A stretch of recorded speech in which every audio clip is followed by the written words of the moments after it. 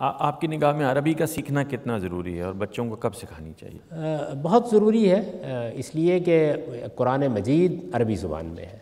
اور آپ جانتے ہیں کہ جو پورے یورپ میں جو نصاب نصاب تعلیم بنائے گئے ہیں براڈ بیس ایجوکیشن جو بارہ سال کی ہوتی ہے، اور بھی دنیا میں جو اچھے ممالک ہیں، وہاں جب یہ بنائے گئے، تو ہمیشہ یہ دیکھا جاتا ہے کہ لینگویجز میں کیا کیا ضرورتیں ہیں۔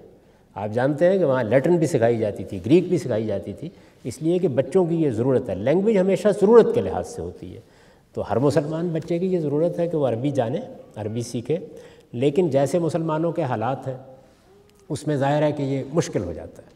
اب آپ بھی دیکھیے کہ آپ ایک دوسرے ملک میں ہیں، وہاں ایک دوسرا نظام تعلیم ہے، تو شاید یہ ممکن نہیں ہوتا۔ تو اس وجہ سے اگر نہیں سکھانے کا موقع ملا تو پھر وہی ترجمے ہیں جن کے ذریعے سے اللہ کی کتاب کی تعلیم حاصل کرنی چاہیے۔